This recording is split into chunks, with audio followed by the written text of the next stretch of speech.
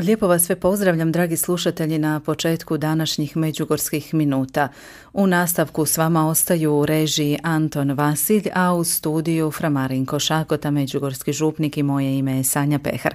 Framarinko, hvaljeni su si Marija, dobrodošli. Na vijeke, hvaljen, bolje našao Sanja. Svake srijede u međugorskim minutama slijedimo primjer Fraslavka Barbarića, učimo od njega kako živjeti srcem, jer to je bio fratar koji je iznad svega ljubio Boga i brata čovjeka.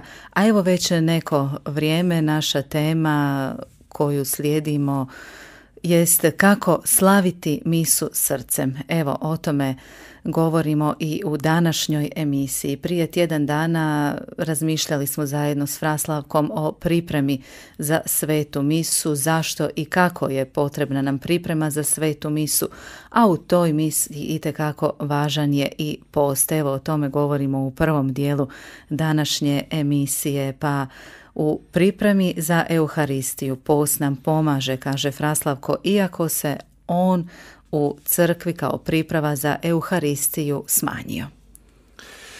E, Fraslavko smatra da i nije toliki problem što se post smanjio, nego što se e, što nema prave priprave za Euharistiju. Onda post dobiva svoje pravo značenje i smisao e, kao priprava za Euharistiju. Dakle, ako nema priprave, ako nema tog evo posta, prije mise, onda postoji opasnost da će se izgubiti pravi pristup Euharistiji, da se neće u Euharistiji otkriti ono što je u njoj prisutno i da se neće dogoditi u onima koji slave Euharistiju ono što se treba dogoditi. Evo, zato je ta važna ta priprava, a post upravo dakle služi toj pripremi. I Gospa nas poziva na post. S kojim ciljem ona to čini? Cilj je otkriti Euharistiju, bolje upoznati Euharistiju, bolje, dublje proživljavati susret s Isusom. To je smisao posta. Gospa nas poziva da postimo srijedom i petkom. Zašto baš ti dani? Ti dani imaju svoje, zna, svoje povijest e, u prvim vremenima kršćanstva, odnosno u prvom stoljeću kada su kršćani postali srijedom i petkom, to je sve povezano s Isusovom mukom i smrću na križu, e, s zaručnikom koji je odveden, koji nije više tu, čežnja za zaručnikom, to je ono što je Isus govorio, kad bude uzet zaručnik, sjetimo se, ali još ima jedno tu značenje Euharistija, četvrtak je između, Fraslavko to vidi, značenje, dakle četvrtak, e, srijeda znači post kao priprava za Euharistiju, a petak kao dan nakon Euharistije. Dakle, opet usko povezano, post usko povezan s Euharistijom. Živjeti te dane s Euharistijom, a Znamo, Framarinko, da ima vjernika koji ne idu redovito na misu, koji imaju poteškoća sa dolaskom na svetu misu, pa kako postupati prema njima? Što Fraslavko tu savjetuje? Dakle, za mnoge, za mnoge, odnosno evo, za jedan dio e, kršćana dolazak na svetu misu očito predstavlja problem i lako se nekako e, utemelji izostanak sa svete mise, lako se opravda izostanak sa svete mise. Najrazličitiji izgovori su tu koji se prihvaćaju kao valjani razlozi zašto se izostaje sa svete mise. međutim, Fraslavko zna da izostanci sa svete mise imaju dublje razloge e, da se radi zapravo o onomu što je na prvom mjestu u čovjekovu srcu. Dakle, što je to važno za čovjeka, što je e, to blago, jer gdje ti je blago, tu ti je srce, to Isus kaže. Što je to moje blago? Što je to meni važno u životu?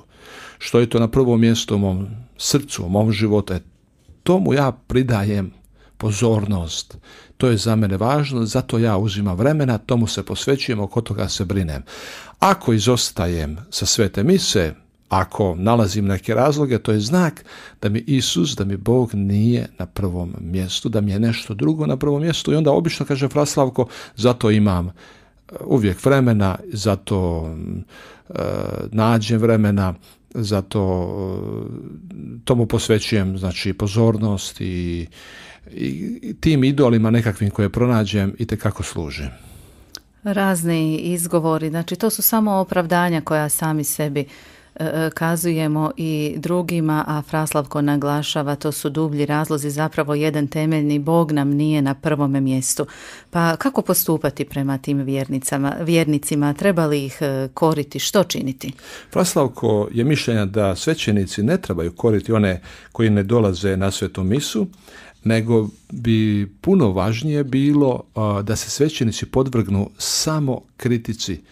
To je Fraslavkov e, način E, razmišljanja, e, jer takvi poziv, takve e, kritike prema onima koji ne dolaze, dakle ne, ne koriste puno. Kaže Fraslavko, stoga je važnije pitanje što radim s onima koji dolaze na svetu misu. Kako organizira misno slavlje? To vrijedi naravno pitanje za svećenike. Jel?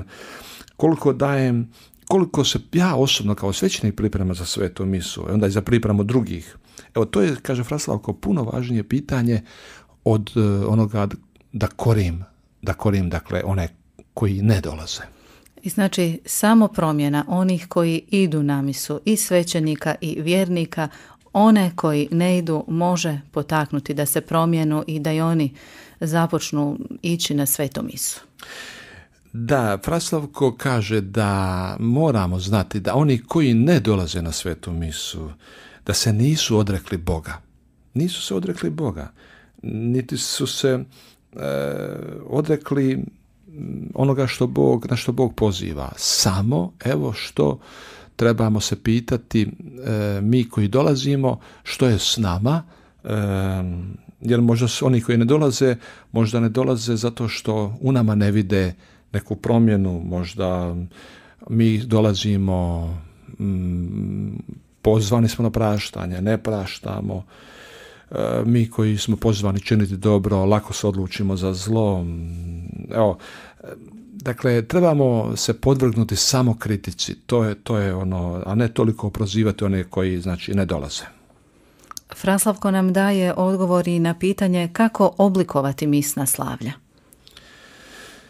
E, da, Fraslavko kaže da liturgijska slavlja danas, spoznam slavlja svete mise, da su previše uhodana, ponekad istrošena, često bez života, bez osobnog nekog doprinosa, nema vatre, jeli, nema vatre u nama.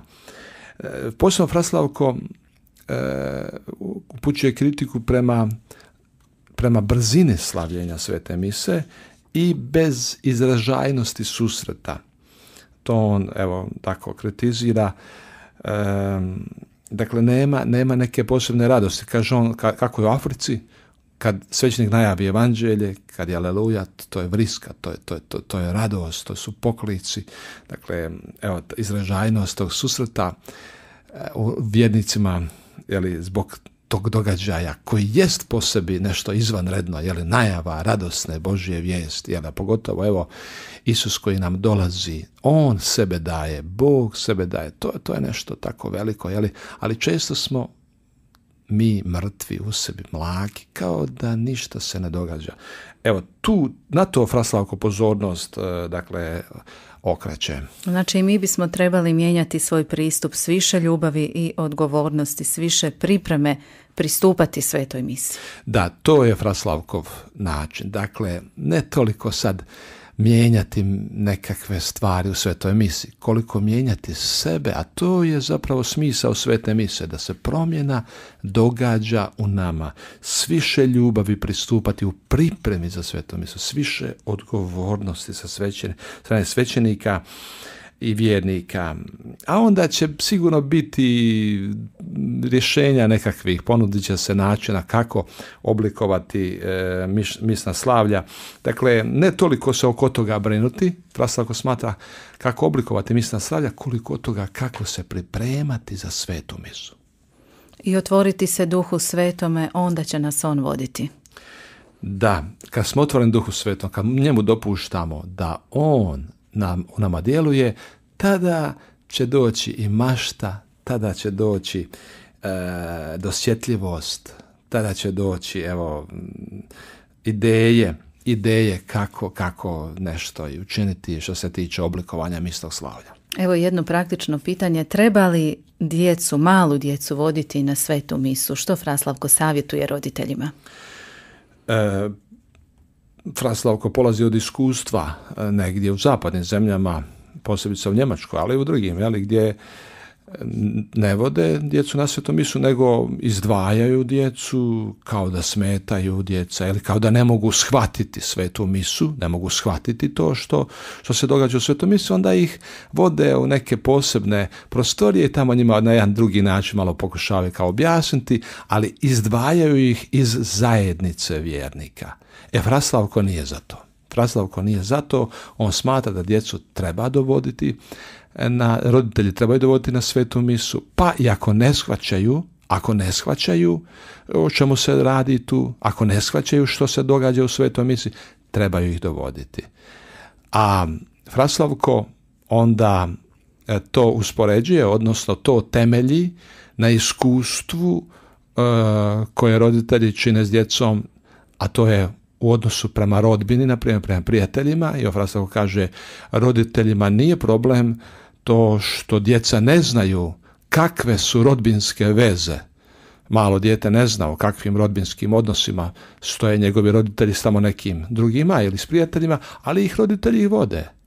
Vode ih prijateljima, vode ih rodbine u kuće njihove, da se druže, da budu s njima. Djeca će pomalo razumijevati te odnose, isto tako svetu misu će pomalo razumijevati. Važno je da da dolaze na svetu misu ili, ili usporedba s hranom, roditelji neće sad djeci opisivati kakvi su kemijski procesi, kakvi se kemijski procesi događaju u nekoj hrani koju su ponudili svojoj djeci, nego će reći uzmi i, i jedi to, jeli?